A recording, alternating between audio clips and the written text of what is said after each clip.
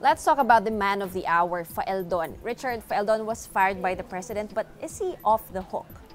Well, the president has not made it clear, first of all, if he'll be reappointed again. because Kasi meron tayong pattern kung saan. I think in the case of Faeldon, this was his third appointment, no? Nung paulit. At uh, it's not also his first time to be embroiled in a Senate investigation, no? Nung head siya ng uh, Bureau of Customs and then nilagay siya sa Office of Civil Defense, even if involved siya in two coup attempts dun sa Oakwood Mutiny and also Manila uh, Pen Siege in 2007. And then yun nga, nilagay siya sa Bucor recently. So now he's an ex-director, but the president did not rule out the possibility that he'll be appointed again. In fact, he joked na baka malay nyo, baka ma-appoint na naman yan, baka consultant or special advisor.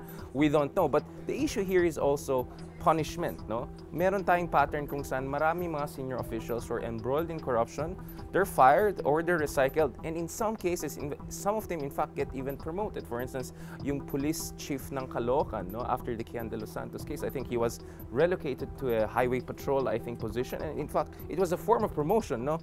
So, Faeldon is actually an avatar for a pattern of controversial recycling and I would say impunity dito sa Duterte administration na yan. So there's first no clarity whether mapunish si Faldon and second also there's no assurance na hindi siya ma-reappoint ulit down the road. And of course, many people are asking, bakit parating na-reappoint si Faldon? In fact, wag natin kalimutan, just the other day, no, si Faldon, he was very adamant na hindi siya mag-resign and he felt confident. In fact, I think sabi ng palasyo nung una na he still enjoys the confidence of the president. But eventually, during the press conference in Malacanang, Uh, in a moment of spontaneity, nakita natin frustration ni Paolo Duterte and he said, yes, I fired him. And I think the president is also responding dun sa snowball ng public backlash. And this is where we also see, no, yung influence ng media.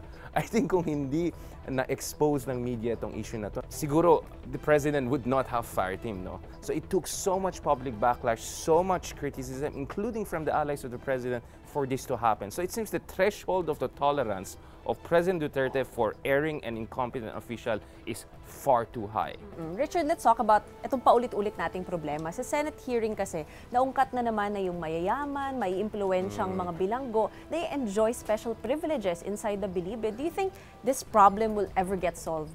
Yun nga eh, si Paolo Duterte nanalo siya based on, on dun sa anti-crime at anti-drug initiative na yan. At alam natin, yung drug problem at crime problem sa Pilipinas, related ito dun sa nangyari sa loob ng prison systems because a lot of these syndicates boss, these criminal big bosses are still operating kahit nandun sila sa loob ng preso, no? Between 2014 and 2019, no? 22,000 people have been released base dito sa GCTA na yan halos dalawang libo dyan ay people convicted of heinous crimes, right?